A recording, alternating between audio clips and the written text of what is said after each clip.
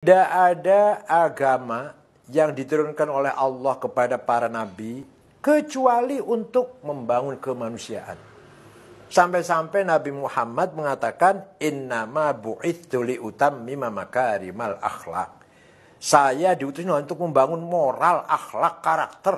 Coba.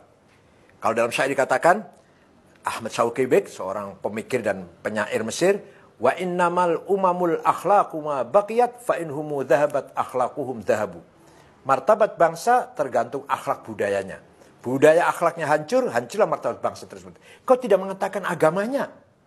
Kau tidak mengatakan misalkan wa innamal umamul adyanu ma baqiyat. Martabat bangsa tergantung agamanya.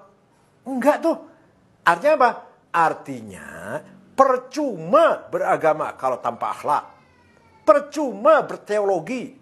Percuma bangun masjid, sholat. Kalau tidak berakhlak, tidak bermoral.